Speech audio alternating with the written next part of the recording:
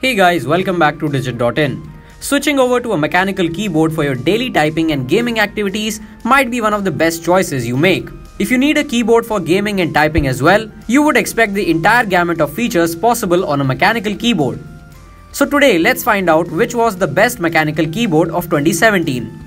The winner for the 01 award for the best mechanical keyboard of 2017 goes to Corsair K95 Platinum. When we started testing the K95 Platinum, it ticked off almost every item on our checklist.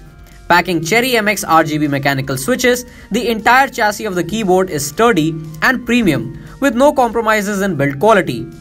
It has extra macro keys and the keycaps are double shot. The K95 Platinum sets the benchmarks for keyboards. The runner-up for this category is the Razer Black Widow Chroma V2. It contains the necessary features you would expect on a high-end keyboard such as audio and USB pass-through, extra keys for macros, RGB backlighting, etc. Also, the new Razer software really brings out all the features in the keyboard. Another aspect that we loved was the cushioned wrist rest with magnetic attachment instead of the old clamp technique. And the best buy for this category is the Galax HOF Black.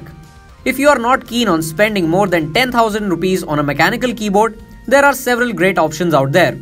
Out of all the keyboards we tested this year, the HOF Black was always in the back of our mind because of its comparatively lower cost. It has audio and USB pass-through ports and a textured magnetic wrist rest. Planning on getting on the mechanical keyboard bandwagon while on a light budget? Look no further than the Galax HOF Black. So what do you think about our winners?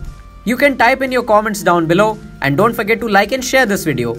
Thanks for watching and don't forget to subscribe.